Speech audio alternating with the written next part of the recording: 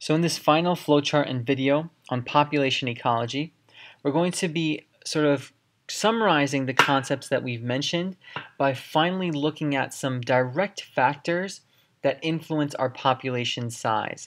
Before we've looked at the study of the population size growth, we looked at the idea of population size and how it affects itself in life history traits, and we've also looked at the idea of logistical and exponential growth all surrounding the population size um, theme of this lecture. Now we're going to conclude this lecture by looking at what I would consider factors influencing population size. And that's what we entitled the last flowchart. Factors influencing population size. These are things that population ecologists have classified and grouped into two main categories of factors, two main baskets of factors that influence population size. They are the following. The first group of factors are called density independent factors. These are factors that do not rely on the density of the population. Density independent independent, let me rewrite that. Density independent factors, uh, otherwise known as DIF. These density independent factors are simply going to be defined as environmental factors. So again, non-living component of the environment, right? Environmental factors that operate without relation, that operate without, that's our key word here, without relation to population density. So we remember we defined population density as the amount of uh, organisms living in a per unit, let's say, area or volume, and that's our population density. But right now, we're basically looking at factors that are without population density, that don't care about population density.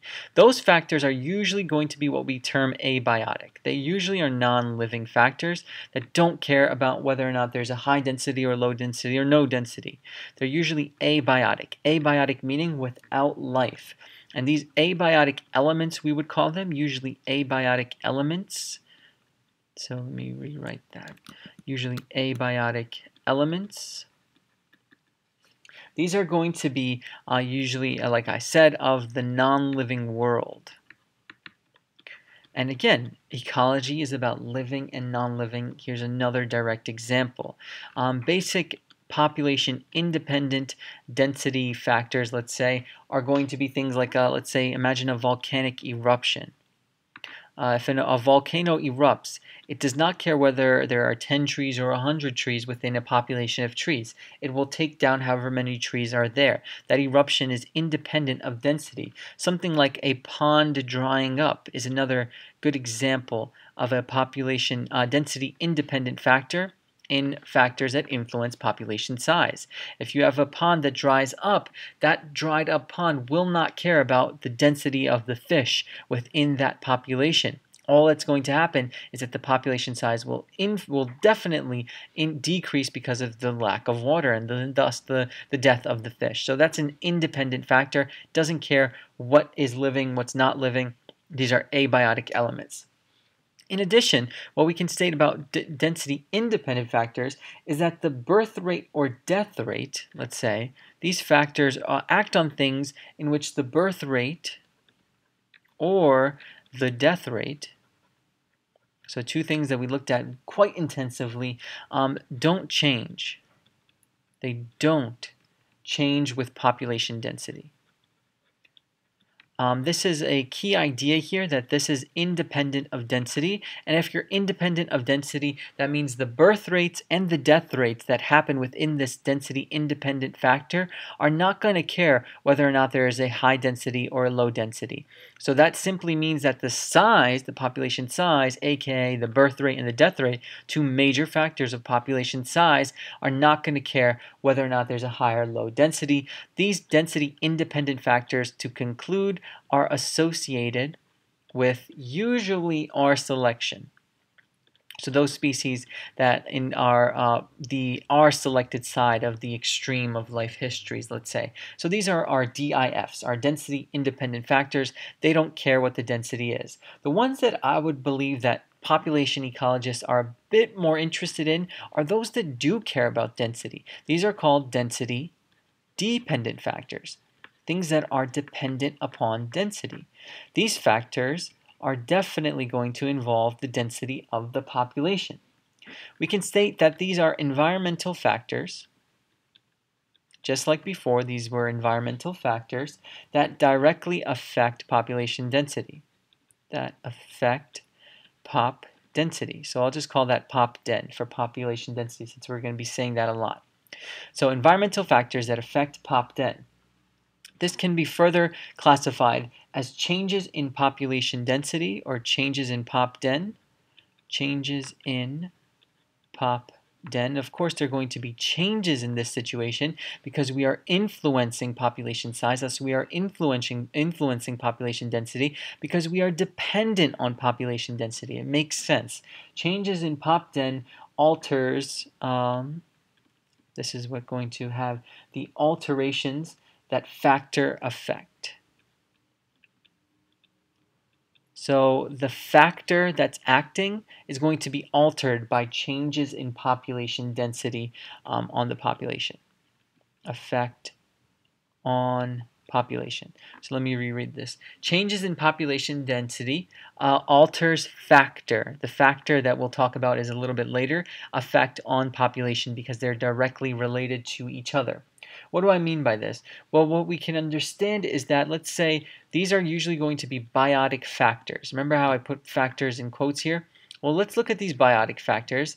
Things like, let's say, competition, specifically competition for resources, you should already be thinking what type of species or selection that this DDF, these DDFs are going to be acting on. If there's competition, that would mean that you would have what we call intra-specific competition, competition between uh, within species. If we have a lot of density, we're going to have lots of competition.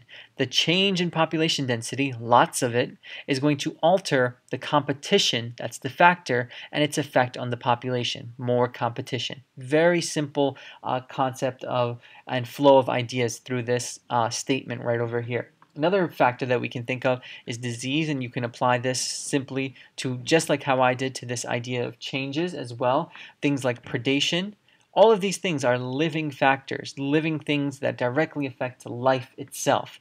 Um, even wastes. When we have waste accumulation specifically, that's going to directly affect the base that is going to be directly affected uh, upon the density that we see within the population, and also parasites. Parasites um, though can be classified also as part of the diseased concept, they're going to be a little bit different because parasites will be more effective if there's a greater amount of density. If there's a greater density, there's a greater amount and ease of transferring as a parasite to a different organism and continuing your, your life. So this is definitely dependent on density. Um, another idea we have to understand about density dependent factors is, is that it follows a negative feedback system. It's a very simple system. This is the first time we're mentioning a negative feedback system, but you probably already understand what a negative feedback system is because it's quite intuitive, the definition. So what I mean by this, and I've been alluding to it with my examples, is that let's say um, population density increases. So I'll say as pop den for population density increases, we're going to have a negative feedback system. So dot, dot, dot. What's going to happen? Well, what's going to happen is that the density dependent factors, the DDF, will slow population growth. So you have an increase in population, then you are going to have the DDFs try to decrease population by acting on that increase. Thus, you will have, let's say, decreased birth rate, that's one goal of this DDF for right now. Um, another goal would be increased death rate. Both of these things are negatively in, uh, uh, fit in this negative feedback system based off of this initial increase. Because there's an initial increase, you want these density dependent factors to rely on the density to decrease the population. That's an increase, then a decrease. That's a negative feedback system. We can easily look at the opposite version of that by saying as popden decreases, as popden decreases, dot, dot, dot, what's going to happen? How are the DDFs going to respond? The DDFs will actually act in a way that's going to increase the population growth. So the DDFs, instead of slowing population growth or decreasing population growth, DDFs will increase pop growth. How will they do that? Well, they will affect the two most important things in population ecology. They will increase the birth rate and if they increase the birth rate to increase population growth, that means they're probably also going to um, and or decrease the death rate. And finally, last point on the density dependent factors, you probably already guessed this. This usually um, is uh, a mechanism and factors that involves a population that tends to uh, maintain itself at that K. And remember, K was carrying capacity. Population tends to maintain at K because of these density dependent factors, whereas the density independent factors are quite uh, obviously associated with R selection. Final point about these factors is the following. Just like I said previously, I gave you two extremes. We have to make sure we understand that that's not reality. Reality is quite uh, much more complex in the sense that the density independent factors plus the density dependent factors both act together. There's a distinct combination of both of these in order to regulate population size. Regulates pop size. And what was our topic for this flowchart? Factors influencing population size. What is the answer? Well, density independent factors and density dependent factors, as indicated right here, combine themselves to regulate population size based on the current environmental conditions. So overall, hopefully through this lecture, you've gained an understanding and an appreciation that population ecology, though focuses on the species and the living organism, we also have to focus on the non-living component. And that's the power of population ecology. That non-living component drives our living component because we see very fancy equations and derivatives and calculus and differential calculus expand upon this idea of growth and logistical and exponential and all these factors combined together to give us this very broad idea of population ecology that can be broken down into its sort of simple components as we did through these flowcharts. And hopefully you understand that it's definitely a combination of living and non-living through these mechanisms that we studied.